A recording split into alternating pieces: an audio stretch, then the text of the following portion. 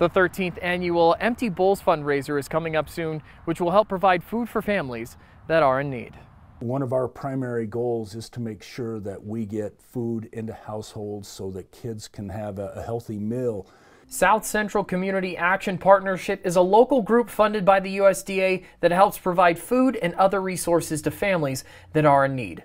Ken Robinette is the CEO of the partnership and says families are facing tougher challenges every day in Idaho. With the high prices of, of gasoline, with the high prices of food going up, and housing, all those combined together really make it a hardship on families. Ken has worked as CEO for 22 years now and wants to continue to see change in the Twin Falls community.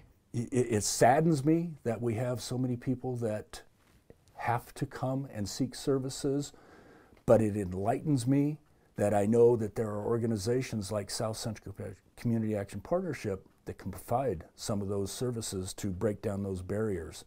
Ken even highlighted the growth in last year's donations.